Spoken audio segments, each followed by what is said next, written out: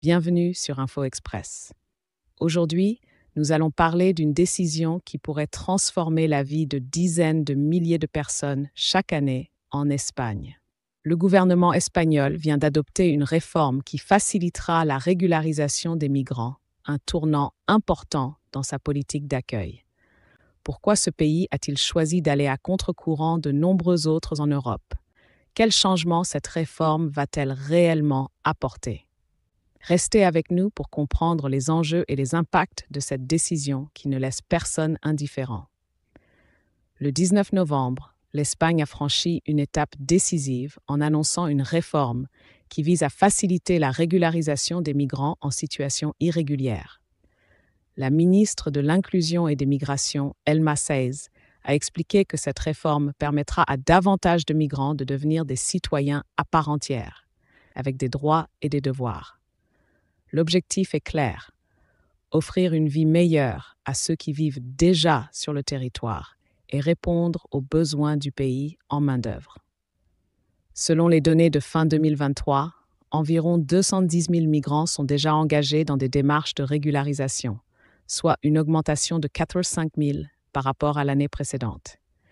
Grâce à la réforme, le gouvernement espère atteindre jusqu'à 300 000 régularisations par an pour les trois années à venir c'est une augmentation significative qui pourrait avoir un impact profond sur la société et l'économie espagnole. Cette décision s'inscrit dans un contexte économique précis. L'Espagne, comme l'a souligné la ministre Seiz, a besoin de 250 000 à 300 000 travailleurs étrangers chaque année pour maintenir son niveau de vie. En ouvrant ses portes, le pays espère non seulement combler cette demande, mais aussi renforcer sa prospérité économique. Pedro Sanchez, le Premier ministre, a été clair.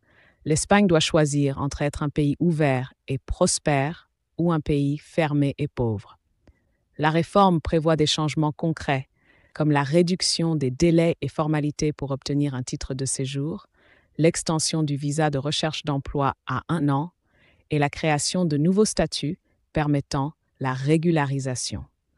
Pour beaucoup, cela représente une opportunité de régulariser leur situation plus rapidement et de trouver un emploi légal. Contrairement à la tendance générale de durcissement des politiques migratoires dans l'Union européenne, l'Espagne a fait le choix d'une politique d'accueil. Déjà, près de 2,9 millions d'étrangers cotisent chaque mois à la sécurité sociale en Espagne, représentant 13,6% des affiliés. Cette proportion a augmenté de deux points en seulement deux ans. Cependant, cette politique a aussi ses défis. Le pays fait face à des arrivées massives, notamment dans l'archipel des Canaries, avec près de 40 000 migrants arrivés illégalement depuis le début de l'année, soit bien plus que l'année précédente à la même période. Cette situation met en lumière les complexités d'une politique migratoire ouverte, tout en soulignant les enjeux économiques derrière cette décision. En choisissant d'ouvrir ses portes et d'intégrer davantage de migrants, l'Espagne se distingue clairement au sein de l'Union européenne. Cette réforme, bien que motivée par des raisons économiques, reflète une vision plus humaine de l'immigration et pourrait servir de modèle pour d'autres pays. Reste à voir comment la société espagnole réagira et si cette décision portera ses fruits dans les années à venir. En attendant, l'Espagne envoie un message clair elle veut être un pays prospère et ouvert, prêt à relever les défis du futur. Merci d'avoir suivi cette analyse sur Info Express. Abonnez-vous pour plus de contenu sur l'actualité internationale et n'oubliez pas d'activer la cloche pour ne manquer aucune vidéo. Abonnez-vous à notre chaîne. Cliquez sur la cloche pour rester au courant de l'actualité algérienne.